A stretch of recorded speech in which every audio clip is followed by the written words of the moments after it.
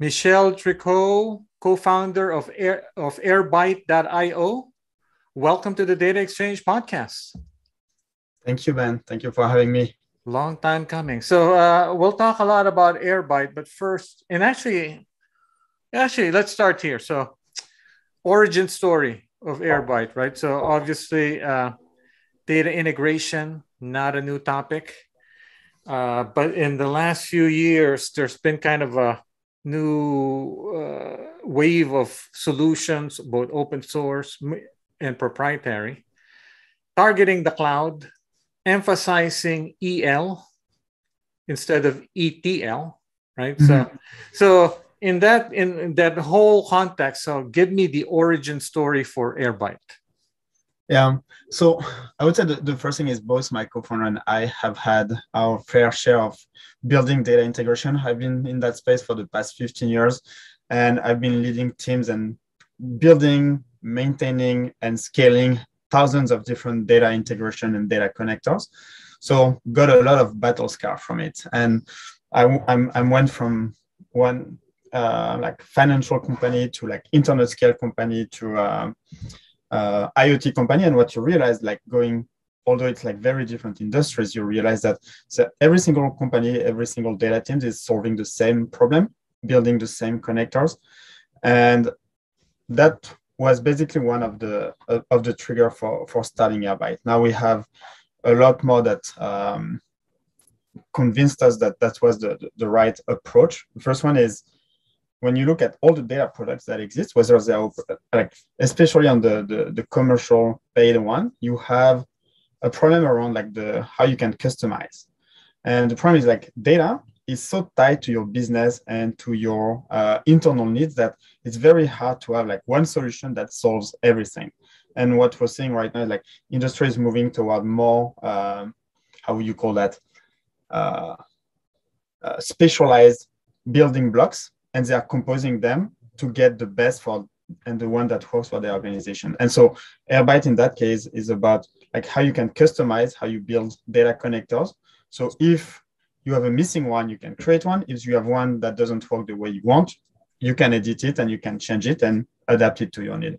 And the two other ones are more around the like how you manage data for, and uh, if you want to connect internal sources or like sensitive sources, a lot of the existing solutions are actually require you to send data to them and they feed it back into oh, your data warehouse. So that was a, a, thing. And after that, it's like everything around pricing, like data, you want to just dump as much data you, you can into warehouses and data lakes. So at that point, you want to make sure that your pricing makes sense with the volume you're, you're feeding. Well, uh, let's get back into the modern data integration solution. But uh, as you reflect on on your days when you were using data integration solutions.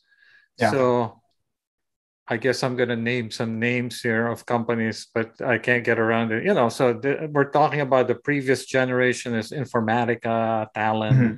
this kind of thing. So, um, at what point did did uh, did you and the, I guess this new wave of startups realize there was that this was still largely unsolved problem? Yeah. Um,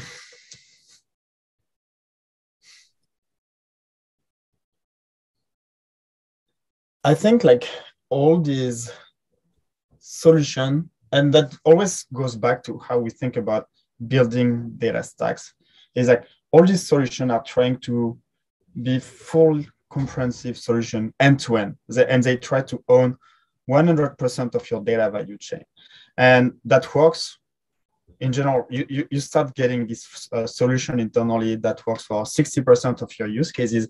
And the day you need to do something that is a little bit outside of how this solution was thought about, then either you do like huge hack around this solution you mean, uh, or you, you start. Mean, uh, you mean the, the, the solution may not connect to a source that you're interested in?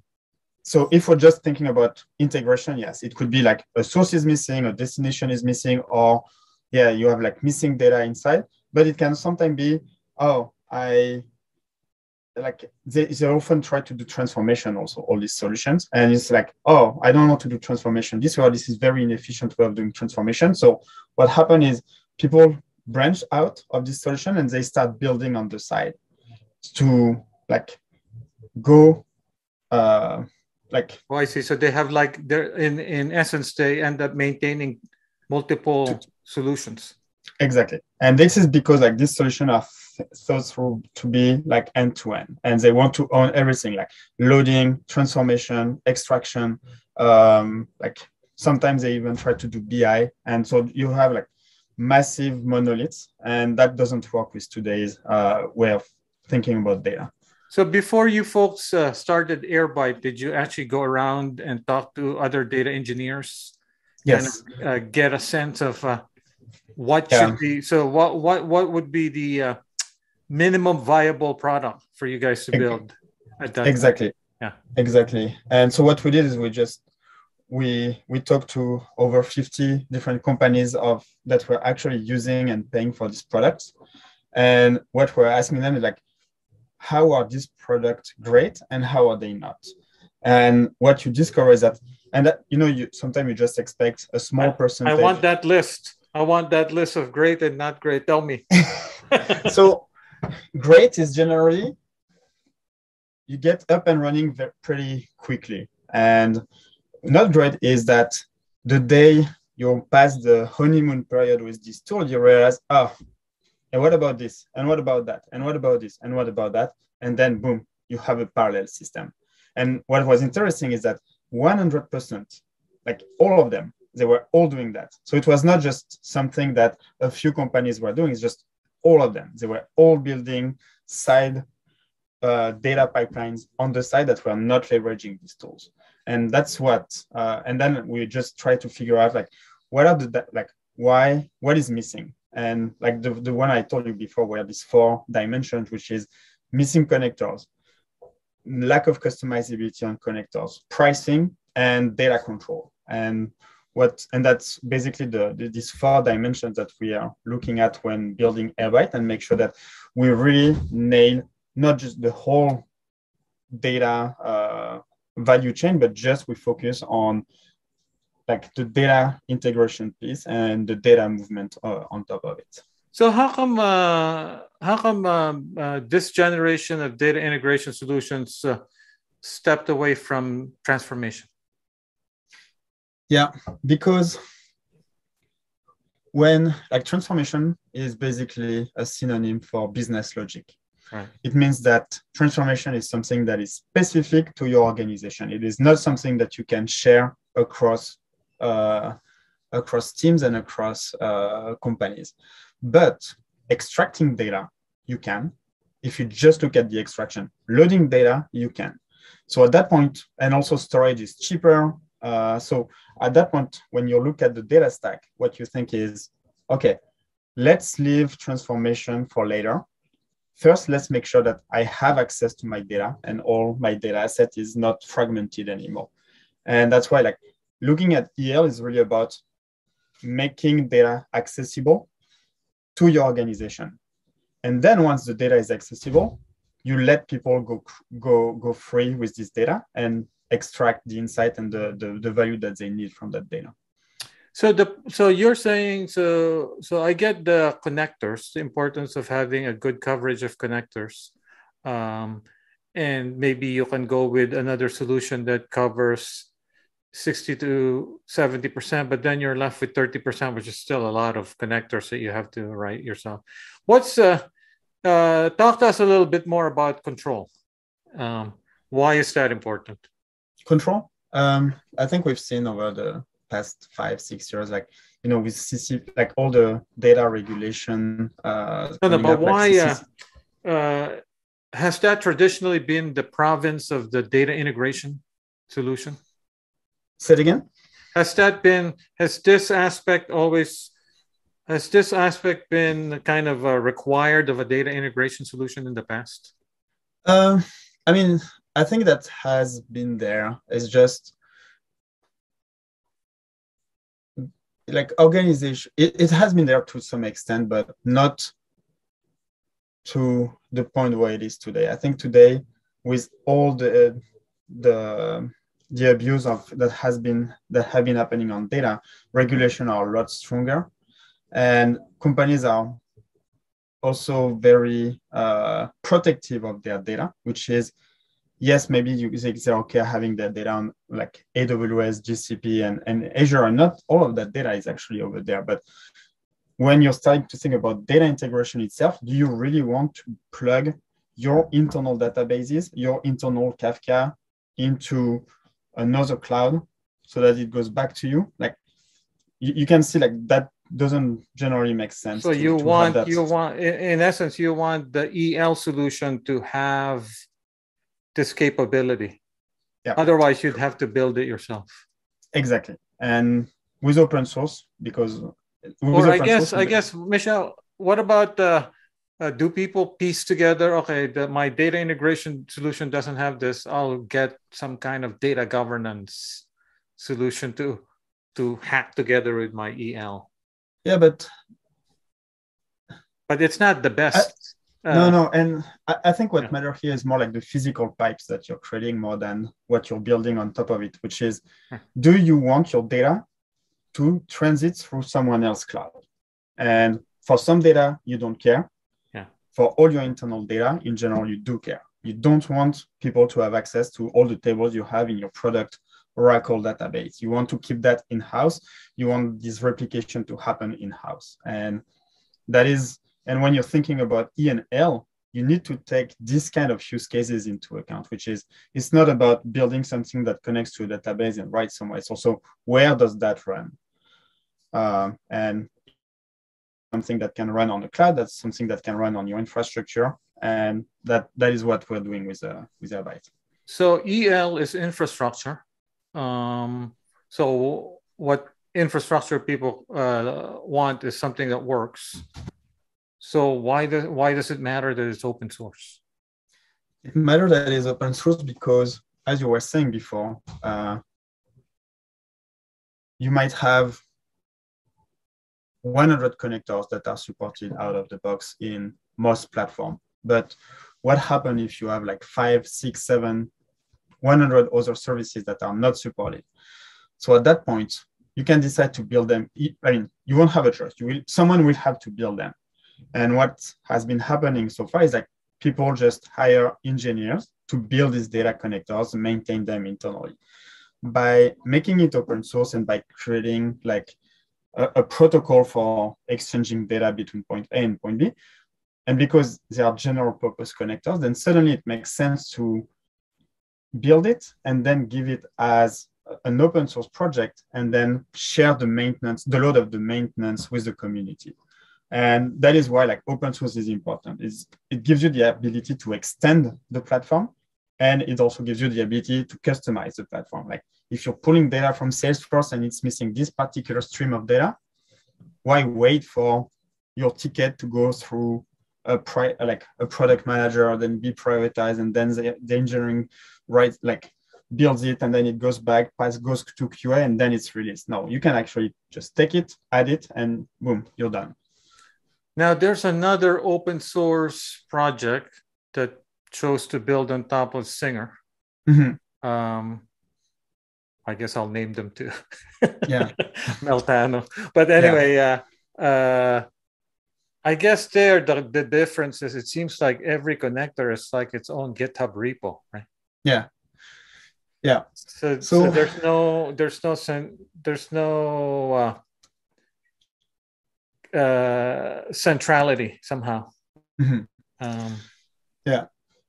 I mean, to be clear, yeah. our connectors don't have to live in the Airbyte project. We have we work with another company who actually has Airbyte connectors on their own repo, it doesn't really matter. Like the reason why it's on today is because we also want to make sure that when you start using Airbyte, you have access to a large catalog of out of the box connector. But then if you want to build your own, or if there is a good distribution of another connector on a different repo, you can import it into Airbyte. Is there some I, I would say like the main difference between is there some notion that you guys say uh, okay, so there's uh, 10 connectors between this source and this source.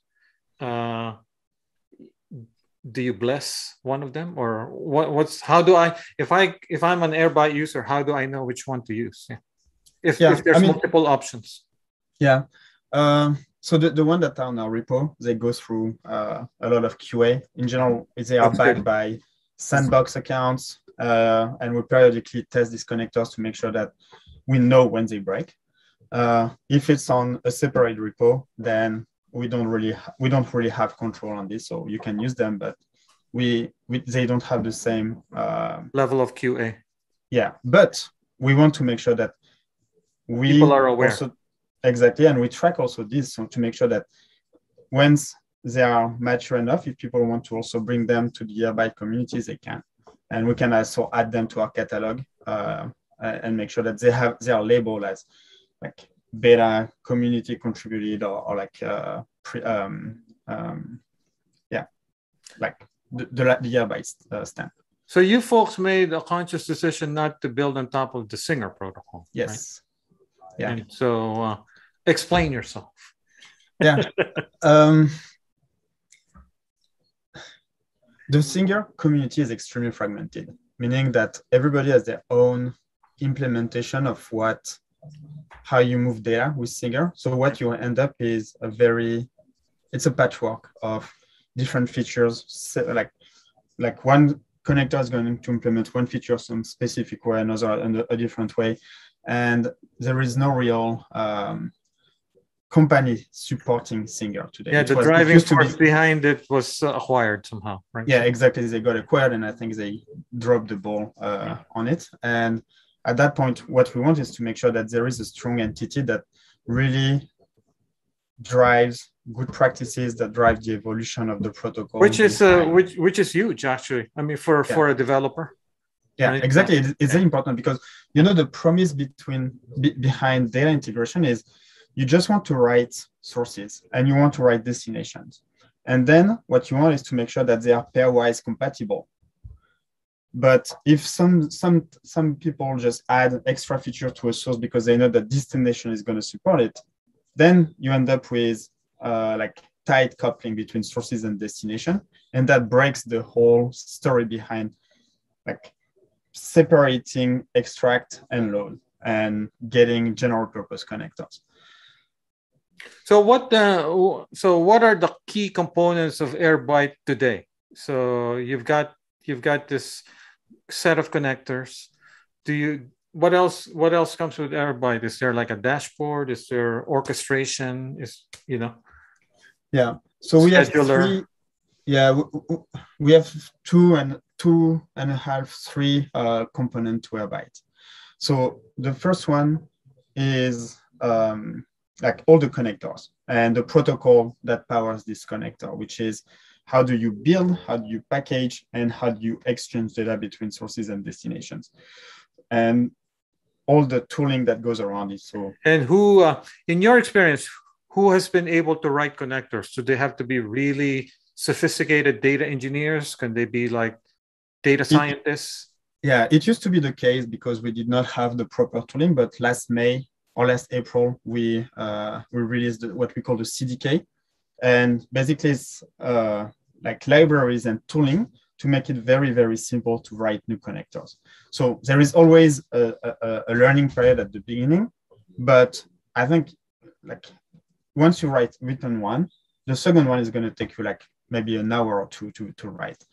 Uh, and what we make sure is that it gets automatically packaged and you can run into Airbyte. So it's very easy to test, very easy to deploy, and very easy to, to publish.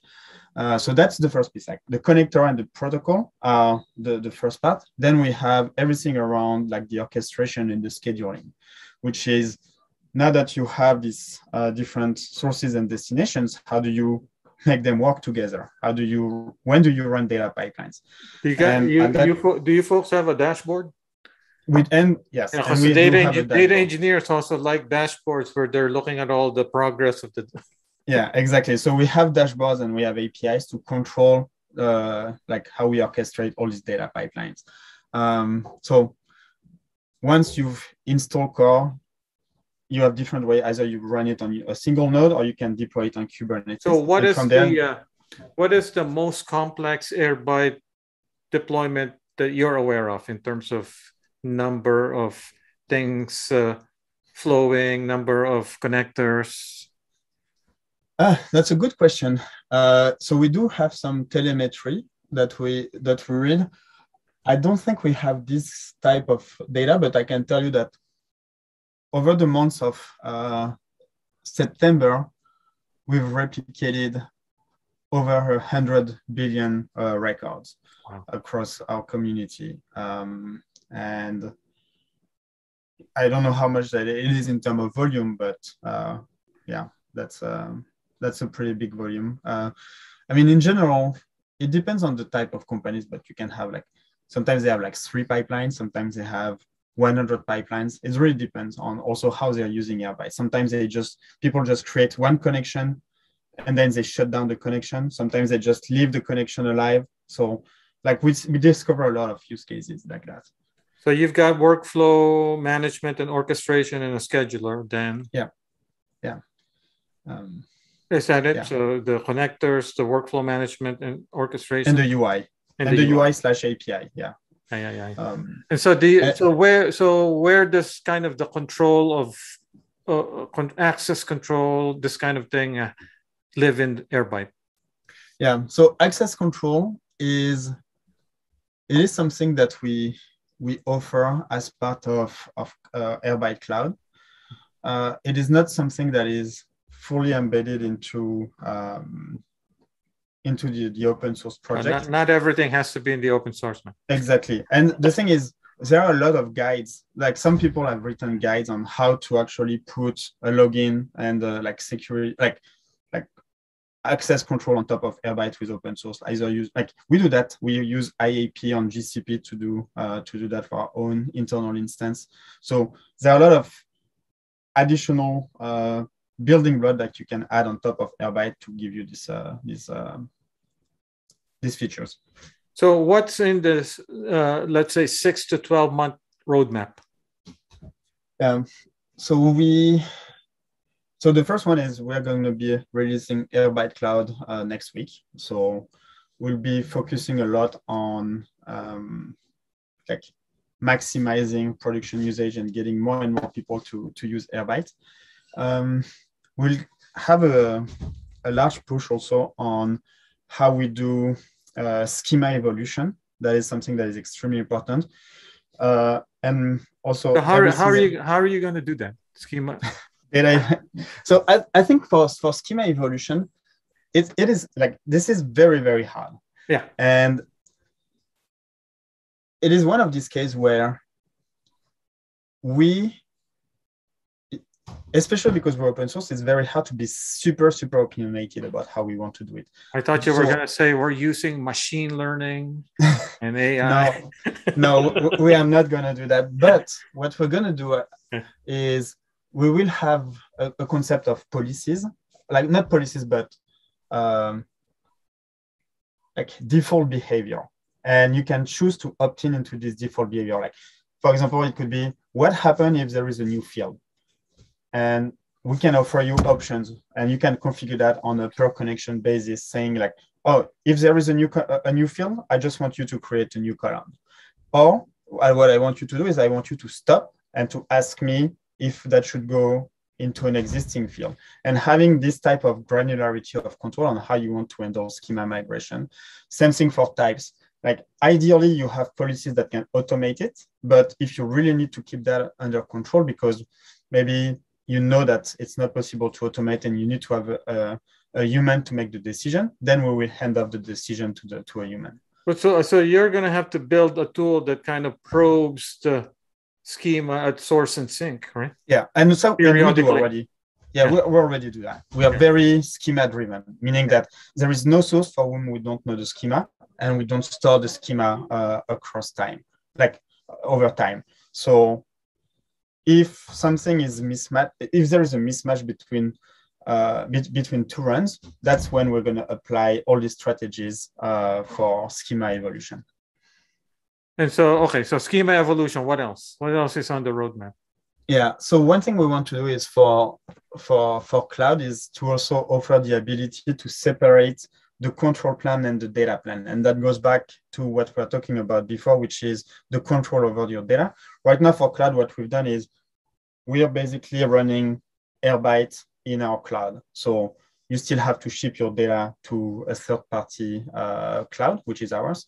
And what we want is to have the ability to decide where the data plan is and as long as you give us access to a, uh, um, a place in your infrastructure, like whether it's a Kubernetes cluster or like just an AWS account, we can start uh, running all the replication over there. We still want to keep the control plan uh, under control because we're still iterating on the on the, the product and we want to make sure we don't have to deal with versioning and uh, and uh, like and like the application evolution on-prem. So that's how we're thinking about it. Um, we so in, some, in some sense, actually, uh, as I'm thinking about this, uh, so there's the notion. So there's this uh, big area in data engineering uh, around pipelines, but in some sense, you folks are at the very start of that, right? So where yes. Uh, where you basically are just taking data from uh, source system to target and then mm-hmm. the data engineer can build some fancy pipeline along the way after that exactly right? exactly um, and that's why we also integrate with uh, tools like airflow uh, is to make sure that when people are building this backbone of their data pipeline they can interact with uh, with airbyte and airbyte is just focusing on getting the data where it needs to be so that then you can apply all your transformation quality etc etc yeah, Prefect and Dagster. Yeah, nice, right? exactly. By the way, so schema evolution. So this is now, um, what is this called? The, the, what, what do the people call it? Oh, change data capture, something yes. like that, right? So that's the modern modern term. Yeah. Um, um, yes, I mean, I think it's more like change data capture is uh, like schema evolution is really about the metadata of the data, which is what does what do my data look like. Change data capture is more about how is my data changing over time. Um, so we also there that is something that we need to uh, to focus uh, a lot more on. I think we have a, already a pretty decent base of uh, support for CDC for main databases, but we want to double down into it to make it support higher scale uh, and um, and extremely reliable. So, so one one big news from the last week from on your guys' side is uh, this license change. Yes. And I don't want to necessarily bore our listeners with the intricacies of, of, of different licenses, but at a high level, uh, what exactly did you guys do by changing to a different license? Yeah. So we only changed a subset of Airbyte to a new license. The like everything related to connectors, to protocol, CDK, every, that remains MIT. The, the, the, the, main reason is we only want to um, to get one thing out of it, which is we so we want to make sure people can continue to use Airbyte the way they are today. It's just we don't want someone to just start monetizing Airbyte beside beside us. And the reason is we have a plan on how we want to address the long tail of integration. And the way we want to do it is by actually creating an incentive for contributors to maintain and have an SLA on, connect, on the connector that they are building. And for that, we want to make sure that, yes, we can share this, we, we can get this revenue and we can share it with these uh, contributors. So that was the main reason for the for the license change. It's like preparing for this uh, new contribution model where we can do some rev share with the with the community. I see, I see. And uh, what has been the reception? Uh, pretty pretty good. Yeah, it's uh you know when you do a license change, it's uh it's always um you have to be careful. you, you have to be careful, but like the Elasticsearch license, I mean, the Elastic license is actually really good because it is extremely, extremely permissive. It just focuses on one thing that is not uh, uh, allowed. So that's exactly what we wanted, which is just the only thing we don't want is someone to monetize Airbyte because at that point, they won't be sharing their revenue with our community. And we want to make sure that we can do it. So do you think so? So is uh, so everything we? I'm assuming Airbyte formal uh, primarily focus on structured data. You know, yes. uh, people who are building uh, warehouses or lake houses, right? So yeah, uh, is is unstructured data not something that uh, these EL tools care about? Maybe, um, but definitely not the focus today. Uh, I think on the structured data, you have a lot that we can do. For right now, we're really focusing on all the ingestion piece into uh, lake house or, or data warehouses. But there is the other piece of it, which is once the data has been merged, has been cleaned up, has been segmented, like how do you actually get it out into other platforms where the data can be activated? And that is something that we want to be working on in 2022. Like, I think the market is calling it reverse ETL. I I hate that. Uh, so that what? Word. So basically, the idea is, uh, uh, I use you to to put things in my lake house, and in my lake house, I do a bunch of things to give it some more structure. Now I'm gonna share this data to other places. Yes. But isn't that what the lakehouse does to some extent? I guess if you're doing BI and ML, yeah, maybe there's I mean, other the, maybe there's other systems that want this data, right? Exactly, exactly. Yeah, yeah. I think it's exactly this. But the thing is, it's always the same problem. Yeah, it's, you have data. It's the, it's the right term, reverse ETL. yeah, but if you look at it, everything is just extract and load. Like yeah, yeah. in that case, we're yeah, just extracting from a, a warehouse so, no, and loading I, it I, I would say this uh, uh, sec, second level EL. Huh? exactly. yeah, that's exactly it. So, so, uh, so the idea is uh, actually the uh, the that data might be used in a data product downstream that has nothing to do with BI or ML or exactly. analytics, right? So, and it can also be used by non engineers, it can be used by sales or by marketing.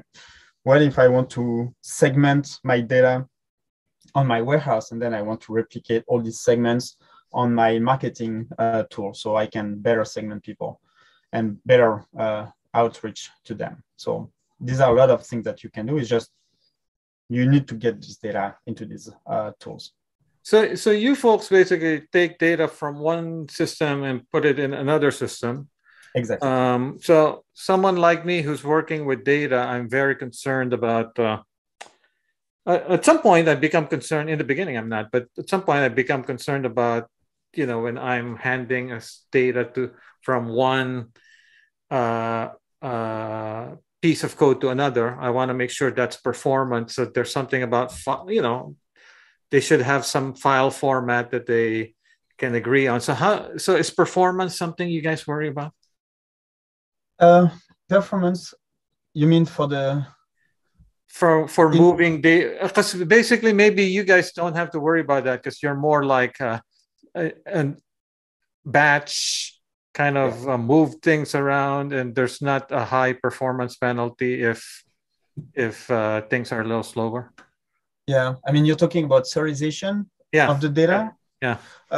Uh, i mean performance is always going to be uh, yes so, so so what's the what's the division in your in your in your experience what's the division among airbyte users between streaming and batch yeah so i think when you're talking about streaming you need to it's important to understand like what is streaming solving for because like there is also something people think when they say streaming it means that it's real time and so when you go down to what does real time means you realize that it has different meaning near real oh, yeah yeah Real exactly. time is and, like big data. Uh, yeah, but so so it depends on what's big for you is different than what's big for me. Right? So, exactly, Ex- that's exactly it. And yeah. What you realize is we we do batches, but we do micro batches, meaning that our sources support this concept of incrementality of the data. So we have a way to start from where we start. And at that point, we can just pick what is the frequency at which we want to run the replication. And if you'd say every minute, then every minute we're going to import every single new record or every record that has changed over the, the past minute. And that means that, first of all, your volume is going to be pretty low. Uh, and even if it's like one gigs, that's something you can pretty trivially uh, sync uh, in a minute. Um, so I think with micro batches, you get the both the best of both worlds, which is you can accommodate streaming use cases and you you have the simplicity of batch yeah. which is yeah, yeah. Uh, and you don't need a you don't need a specialized system. Exactly. Right. Um so we when we talk about el we kind of assume that everything is a big data source to a big warehouse or lake house right? But in a company one unsolved problem Michel, is uh, microsoft excel. So so so how do, do you guys uh, help companies tame their excel explosion? So great question. Yeah. I would say today and that's probably something we do with uh, with cloud is the ability to feed your files. Now it works. I mean your, the use case you're describing works extremely well when it's a cloud product. Like if it's google spreadsheet that's done already. We already have a way of replicating uh, spreadsheets. Um, now if when it's a physical file that's uh, that's a and, and now now now a lot of the non-technical people are starting to use things like airtable right? Yeah. Yeah yeah. Yeah. So airtable i think we have a contributor working on a, uh, an integration for airtable so but, with the with the democratization of data that means there's going to be a lot more data sources exactly. Exactly. And it's going to be very hard for non-open source companies to get to to keep up with it because building it's relatively easy. Maintenance is where the cost actually is. So, so they will always have to make this right decision about do i really want to put my finger into i mean to get my finger into this into this integration or not? So i was joking about it earlier but as, as we were as we're talking right now it strikes me that at some point you you folks will have to use ml just to have present me with a reasonable dashboard. Otherwise the dashboard is you know it's going to be hard to consume. There's too many things to to monitor right? Yeah that is true. Um we'll see. I yeah. think thinking about ml if you don't have the data is uh is premature. Yeah. or the, or you don't face a problem is is premature. Um but i i'm sure it's probably going to be something very simple in origin initially with like rule-based systems etc but i can imagine that the product is going to become more and more advanced with time. So so besides the schema evolution mm-hmm. uh, what aspects of data quality maybe you can do you guys help with data quality? Because you can if you can capture data quality at your stage that yeah. really helps solves a lot of headaches right yes yeah. the very good point that's exactly that's something that we want to also be working on, which is right now we're focusing on building the pipes, but we want to make these pipes uh, smarter. And quality is one of them. Um, data reduction is one of them. Like typically, you might be replicating data from uh, a source that contain a social security number. You want to put that into your warehouse. You probably don't want your data analyst to have access to social security number. So how do you bring, how do you put filters and uh, and uh, and checks in between the sources and the destination to ensure that you you have access to the data, but you also have the the, the legal right to access that data. And, and you know, also a few years ago, and now actually there's a, a bunch of startups, I'm advising one of them around metadata. Mm-hmm. You know how metadata, the, these uh, uh, tech companies in the Bay Area started building these metadata management systems, but you guys already have access to all the source systems. You can you can pro, you can kind of monitor metadata as well, right? Yes, we can. Yeah, and so the, so whatever benefits can be derived from metadata, which would include, uh, I guess, the main application so far has been discovery, mm-hmm. data yeah. discovery, right? So you you everything like, related to cataloging. Yeah. But at that point, you know, we probably don't want to be building a cataloging product. But what we want to do, and that's the type of thing we want to do in 2022, is like how do we integrate with existing product? Because I don't know if you have. Uh, a company that does cataloging, one thing that they are missing, if they just focus on um, like the data warehouse, Yeah. they might just have a partial view of Exactly. of the, what the data is. And if they can integrate with us, then suddenly they get access to more. Um, they might have access to documentation about every single field. They might have access to lineage information, etc., etc. So that is one thing we, we want to. Yeah, do. it's But- really a, a catalog of the raw Yeah. assets, right? Before it gets transformed, even. exactly, Yeah. exactly. Yeah. Yeah. Cool. This has been great. Uh, and uh, I'm assuming you folks are hiring all sorts are of people, right? Yes. So, uh, so uh, what what sort of people are you hiring? So I would say today what we're hiring it for are um, people that have uh, a very a good background either in Java or in Python, um, and we're more looking for senior profiles. And doesn't have to be like too senior, but at least four, five years of, uh, of experience. Working on data is a is a big plus. Uh, so you understand like the challenges and the product that we're building. Um, and yeah, so that would be more for the engineering side, software engineering side. And after that, we're also hiring on the on the go-to-market.